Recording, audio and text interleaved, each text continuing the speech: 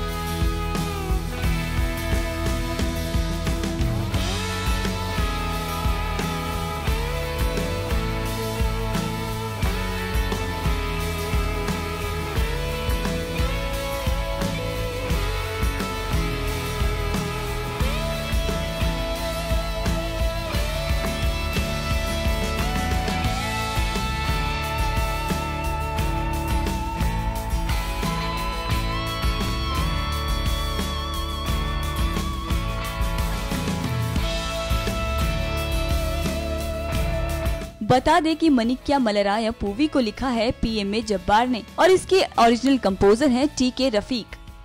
Film के लिए इस गाने को कंपोज किया है शान रहमान ने, और इसे अपनी आवाज़ दी है विनीत श्रीनिवासन ने। आपको हमारी ये स्टोरी कैसी लगी, ये आप हमें कमेंट बॉक्स पर शेयर करना ना भूलें।